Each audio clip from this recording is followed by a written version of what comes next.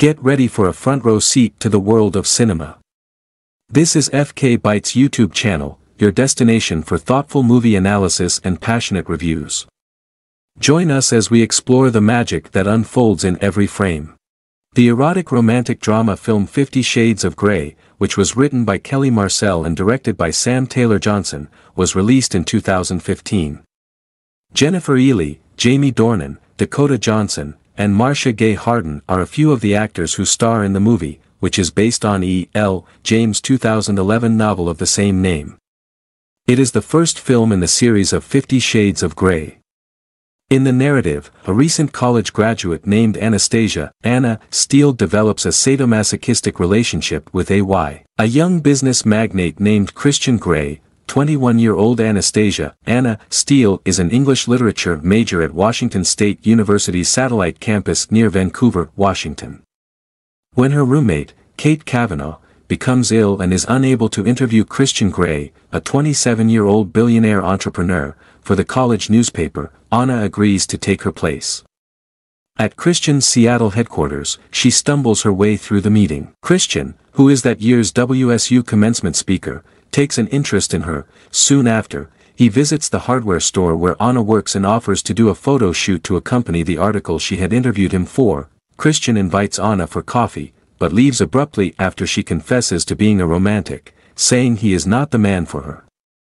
He later sends her first edition copies of two Thomas Hardy novels, including Tess of the D'Urberville, as a gift, with a quote from the latter book about the dangers of relationships on an accompanying card.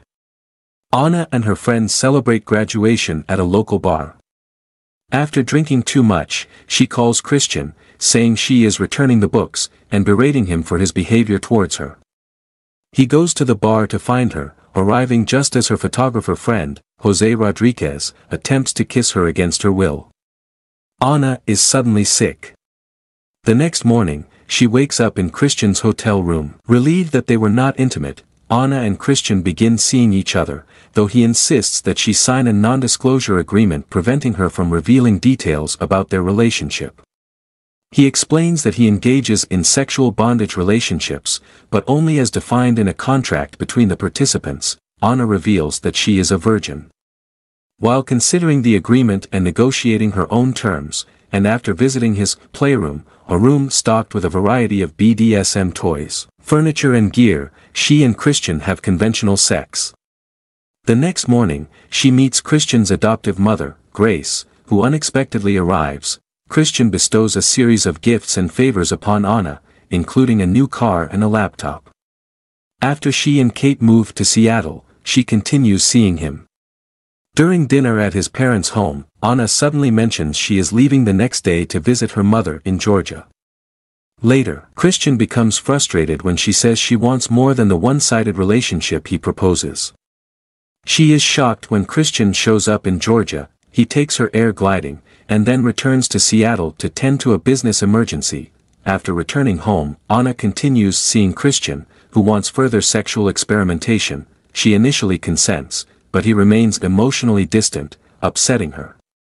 While still considering the contract, and in an effort to understand Christian's psychology, Anna asks him to demonstrate how he would punish her for rule breaking. He whips her buttocks with a belt, making her count each strike out loud. Upset and disgusted, Anna leaves Christian, concluding that he is wrong for her and that his practices are deviant and excessive. Thank you for watch the full video, join us for epic tales, intimate dramas, and thought-provoking masterpieces that resonate with our souls. Don't forget to hit the notification bell, so you never miss an opportunity to dive into the captivating world of cinema.